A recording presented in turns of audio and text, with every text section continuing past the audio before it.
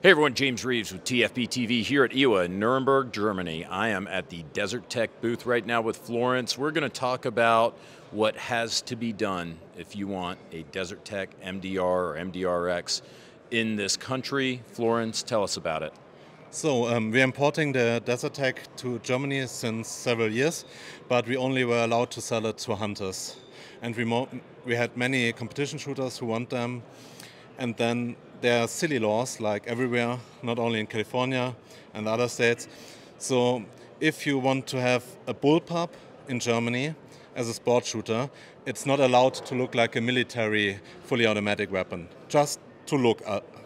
It's only about the look, not about the function. Everything else has could work really fine. So, and one of that features is venting holes in the handguard, because the German government thinks if there are venting holes, the barrel cools faster, and then the weapon. It's way is, deadlier. yeah, no, yeah, you can shoot it fully automatic. Just oh, that makes sense. Yeah, cools. Yeah, yeah. It, it, doesn't. Yeah, it's totally. Yeah. Yeah. Yeah. yeah we, we have really struggled with that, and then um, you have to get uh, permission to sell it to them, to the sport shooters, and that's our solution. It's not that different from the normal MDR. It's just about filling the venting holes or the M-LOK. Yeah, for the for the German law, it's venting holes, not M-LOK, not attachment points, just venting holes. And we designed it, we printed it at two, three days ago, and uh, trying to get now the permission to sell it. Could you theoretically put Picatinny rails on the like uh, over here the six o'clock, or I'm sorry, the uh, three o'clock and the nine o'clock side? Yes, we could, but uh, nobody uses that because um, for sport shooters, weapons are not allowed in Germany, so mm. there's no reason to put it there. We uh, put M-LOK in the bottom because that's no problem because you can see it from the side, so it's totally fine. It's, it's not about the function, it's just about the look. So if you want to uh, mount a pistol grip or something like that, or a bipod, that's no problem. But if you mount a pistol grip or a bipod, you get you have to get a special permission to use that pistol grip and that bipod.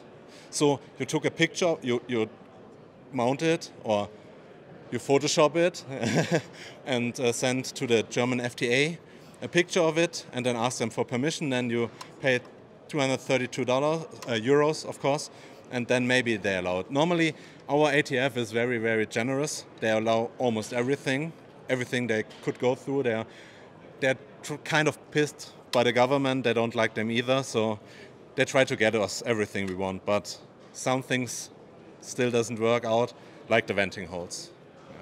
Florence, I have done a lot of interviews in my seven years at TFB TV. This is some of the craziest shit I have ever heard in my entire life doing these videos for YouTube.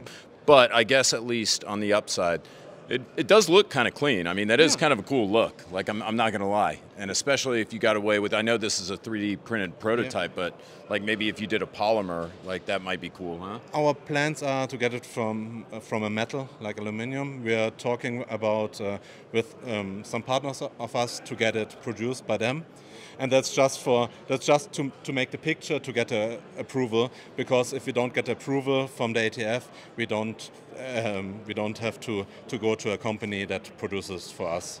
How the hell do they know if you're a sports shooter or a hunter? Like, how do they know the difference? Uh, oh, yeah, yeah, I'm a hunter. I'm a big buck hunter. You know, that the video game. In Germany, you're only allowed to uh, have weapons if you can prove that you are either a hunter or a sports shooter, and you have different kinds of uh, uh, different process to go through. And so I, I, go to the ATF office and they pull around a deer and I shoot it in the face, and then it's like I'm a hunter. I'm good. For a hunter, you have to get your hunter's license, and you have to have a test and the most people like study for like almost over a year to get to pass the test to be allowed to hunt. License you need uh, two weeks of school. Also um, you make it the whole year, one day uh, per week, or you make two weeks on one uh, 12 hours a day. Makes a school, you get this pass. The pass is for three years.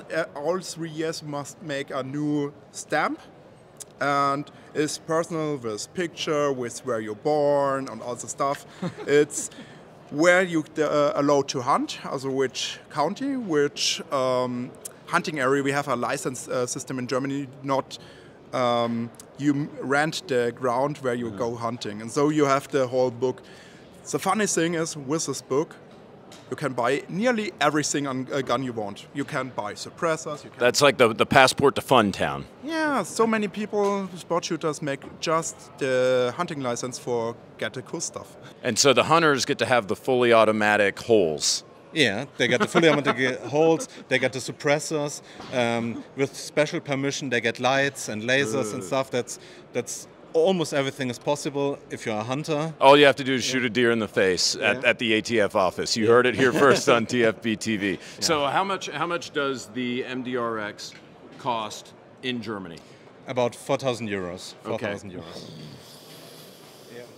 But everything is expensive. Like to get, you have to get the permission to import it, yeah. Mm-hmm. And then we have all our guns approved. So you get the rifle and you ship it to a A proof house. yeah proof house from the government, and then mm-hmm. they shoot it and they test it, and then with every single rifle, and then you're first you're allowed to sell it. Well, Florence, sounds fun. Good luck with that. I've very much enjoyed going through this very eye-opening look on, on German law. And, and seriously, I, I'm glad that you guys are doing this. I know it's a pain in the ass. I'm glad that there's someone out there who's willing to undertake this monstrous cluster in order for you people to be able to get stuff that you know we can just buy off the rack in America. So Thanks for visiting us, and I think there's one important thing in Germany. It's almost everything is possible if you know how to do it.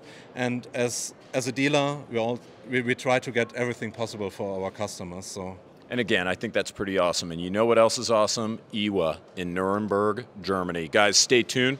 We're bringing you more.